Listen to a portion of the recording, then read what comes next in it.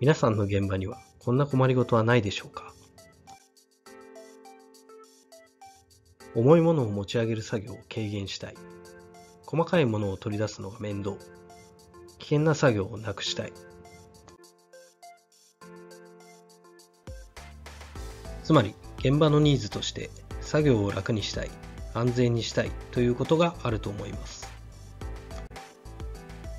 ロボットや高機能、高額な設備で自動化を図れば、これは実現できるかもしれません。ただし、これをローコストで、かつ省エネにもつながる方法があれば、ぜひ取り組むべきでしょう。日本プラントメンテナンス協会では、ローコスト、省エネで作業を楽に安全にする方法として、からくり改善を提案しています。からくり改善とは、製造現場における困りごとを自分たちのアイデアで解決する手段です。からくり改善という言葉からは、日本古来の茶運び人形に代表されるような気候を使ったからくり人形を連想されると思います。からくり改善とは、このような気候を利用した改善であることが一つの特徴です。では具体的な事例を見てみましょう。タイヤの移し替えを楽にする改善です。1本 11kg あるタイヤを搬送台車へ移し替えます。この作業の場合、離れた位置のタイヤはどうしても取り出す時に無理な姿勢になります。しかし、取り付けたペダルを踏むとくるっと回転。軽い力で取り出しやすい位置にタイヤが来ました。簡単に見えますが、押し出す、回転を止める、ロックするという動きを機構を使って実現しています。このように困りごとに対し機構を使ったアイデアと人の力や自然エネルギーなどを利用した省エネな動力源で改善することがからくり改善です。もう少し俯瞰して現場の課題について考えてみましょう。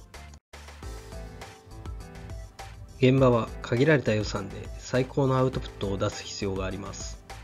ローコストで改善を実施することはとても重要です。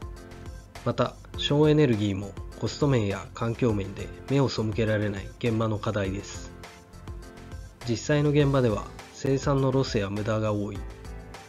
自動化したいがコストが合わない。現場のエネルギー効率が悪いという困りごとがローコスト省エネの課題と直結すると思います。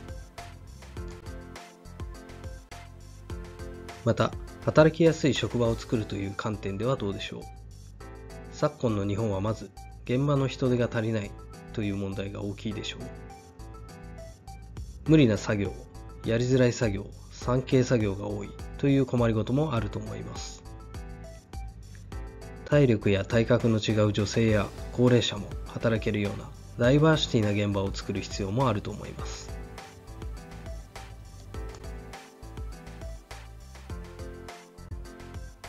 3つ目は人材育成です。現場の生産性を高めるためには、設備の知識や技能を有する人材を育てる必要があります。また、現場の意欲を高めるための取り組みや、現場のアイデアをどのように具現化していくかなどは大変重要です。からくり改善は作業を安全、楽にするだけではなく、ローコストや省エネ、働きやすい職場づくり、人材育成、これらの課題を助ける取り組みにもつながります。最後に、からくり改善の考え方です。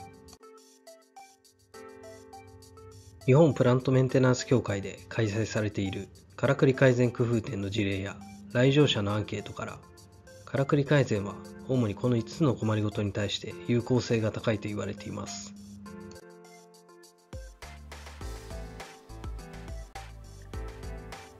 この困りごとの解決を目的とし、省エネルギーな動力源とテコやカムなどのからくり機構を組み合わせて改善する手段がからくり改善の基本的な考え方です。このようなストーリーや実際の改善の進め方は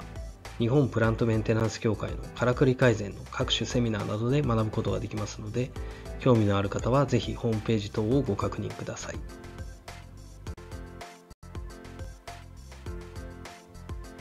また、からくり改善実施の注意点です。からくり改善はもちろんどんな現場の困りごとも解決するわけではありません。このスライドにあるような安全や品質、設備保全などの信頼性を担保できるかどうかを必ず判断してから実施していきましょう。